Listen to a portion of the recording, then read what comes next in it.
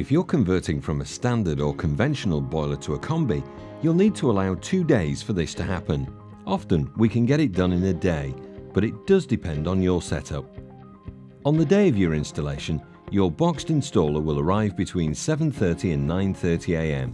In some cases, we will send a team of two people. They will say hello and talk you through the job so you know what's going on and can ask any questions you might have. If you know of any leaks and radiators that don't work, you should let your installer know. Our installers are clean and tidy. They will put dust sheets down to protect your floors and carpets. They'll set to work removing the water tank and cold water storage. Next they'll remove the old boiler, which we'll take away to be recycled. Your new boiler will arrive by courier between 7.30am and 9.30am. Often, this goes straight onto the wall. Given that every installation is different, the pipework will sometimes need upgrading.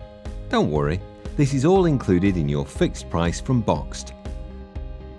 When the boiler and new flue are fitted and tested, we'll make sure your radiators and all other gas appliances are working our installers take the time to talk you through the controls and explain how everything works. They'll tidy up after the work is completed, leaving you to enjoy your shiny new A-rated boiler.